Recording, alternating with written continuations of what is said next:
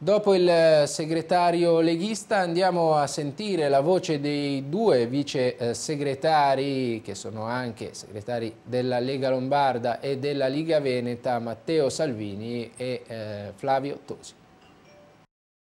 Matteo Salvini, partiamo da questa assemblea federale, da qua sono uscite tante idee per la Lega.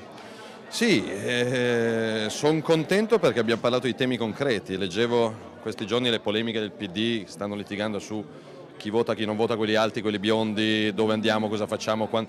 Noi parliamo di, di, euro, una posizione chiara, eh, superamento di questo euro, questo euro è una truffa, è una palla al piede, è la morte della nostra impresa e del nostro lavoro. E questo, questa è una battaglia solo della Lega perché me e tutti gli altri invece sono ancora convinti che questa Europa e questo euro siano la nostra salvezza. E poi me li sono segnati alcuni spunti anche interessanti su, sulla famiglia, gli asili nido pubblici e gratuiti come, come il modello francese, quindi temi abolizione delle prefetture e delle sovrintendenze, quindi sia il sindaco a decidere sia sulla sicurezza che sui beni da tutelare senza rompere le scatole, questi organismi romani spendono e non, e non c'entrano niente, poi il superamento della legge Merlin, tassazione della prostituzione, linea chiara sull'immigrazione clandestina, sulla famiglia, il papà è il papà e la mamma è la mamma e non ci sono altre menate e poi la questione economica. I sindaci, abbiamo sentito un consigliere della Lega di opposizione di Arenzano, quindi non è un ragionamento, facciamo le battaglie dove ci interessa direttamente. Ad Arenzano, in Liguria, dove la Lega è all'opposizione, il comune ha fermi 13 milioni di euro in cassa e non li può spendere, è follia. Quindi la battaglia alla morte con Roma e con Bruxelles, chi ha un euro in cassa perché l'ha risparmiato lo spende, sia di destra, di sinistra, di sopra, di sotto, in Liguria,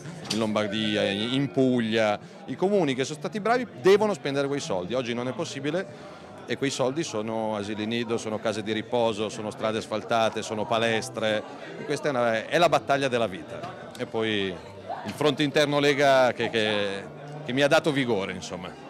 Proposito del, del, fronte interno della Lega, oggi è venuta anche la notizia del futuro congresso della Lega a dicembre, eh, un congresso diverso da quelli del passato perché sarà aperto, eh, ci saranno le votazioni, il nuovo segretario verrà votato dalla base. Bella idea, bella idea. La Lega è sempre riuscita a coinvolgere tutti i militanti, anche oggi qua c'erano un migliaio di persone ma che erano rappresentanti delle sezioni, dei territori, dei comuni, dei direttivi provinciali, quindi non c'era gente che passava per strada però far votare tutti, appunto, mentre gli altri partiti il PDL si trasforma, non si sa cos'è, ma nessuno vota nessuno.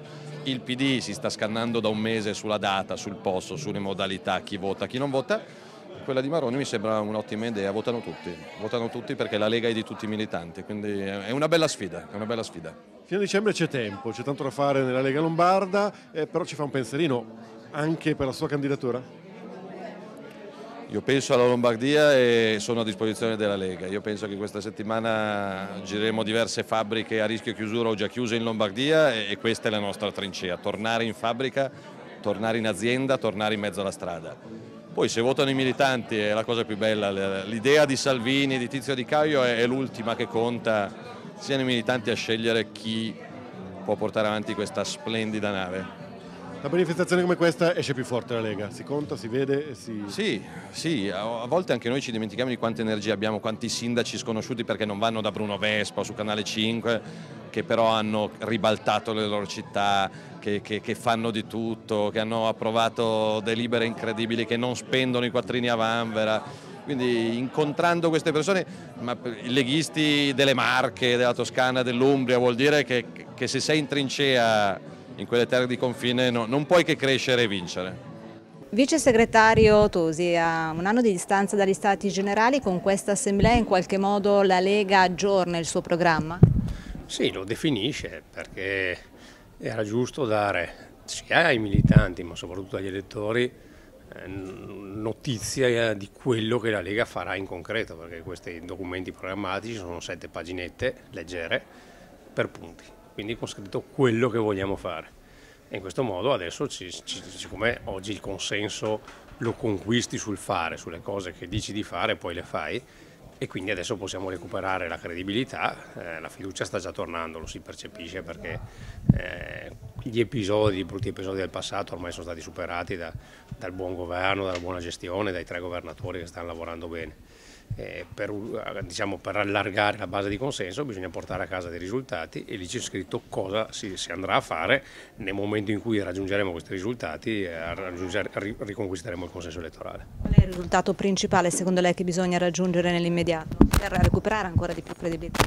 Ma I due temi sono, anzi tre, sono sicuramente la sicurezza, eh, quello è un tema che a livello di eh, mass media nazionali passa poco eh, ma in realtà c'è un allarme fortissimo in termini di immigrazione clandestina e soprattutto di microcriminalità diffusa, furti negli appartamenti, furti nei garage, anche, anche, per colpa della crisi il fenomeno è esploso.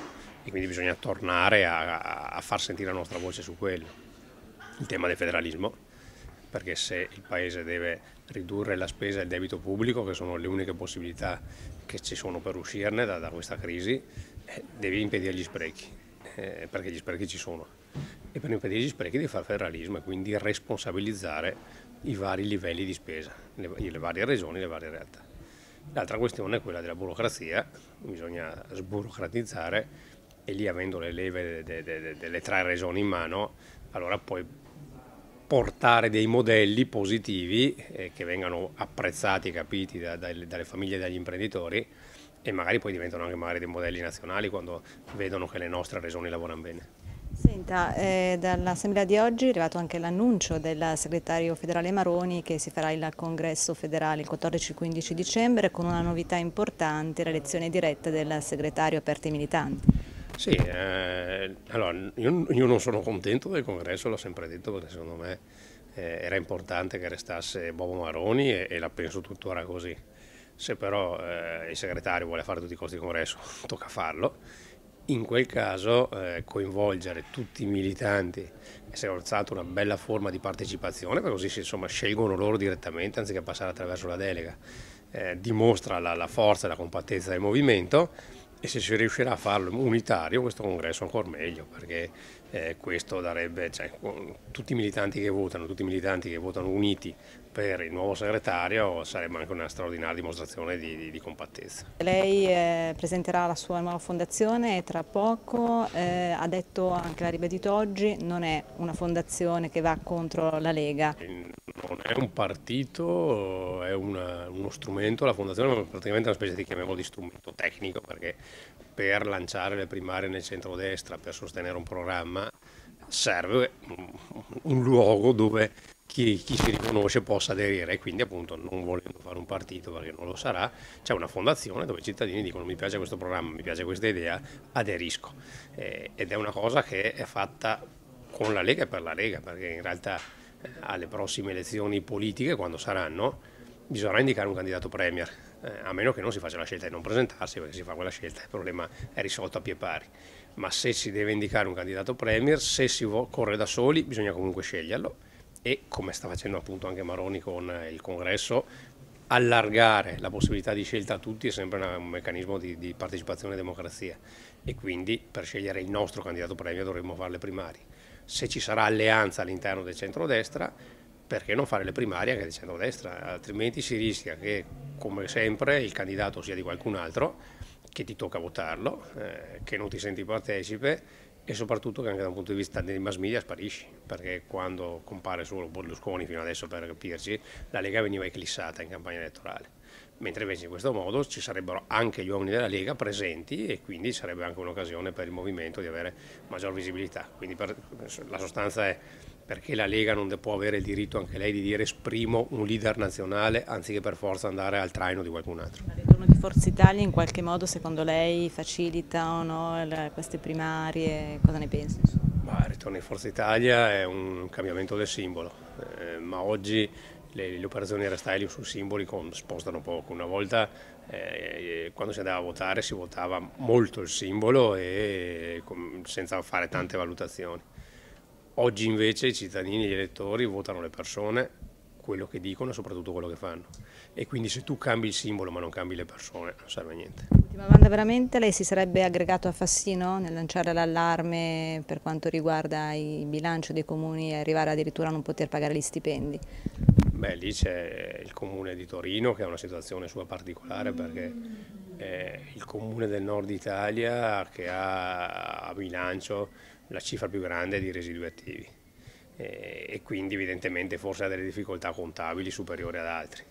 Eh, noi non abbiamo una situazione di quel tipo, cioè da rischiare, perché comunque il bilancio è a posto, i conti sono in ordine. Eh, che ci sia il problema del patto di stabilità, che hai i soldi fermi e non li puoi utilizzare, quello sicuramente sì.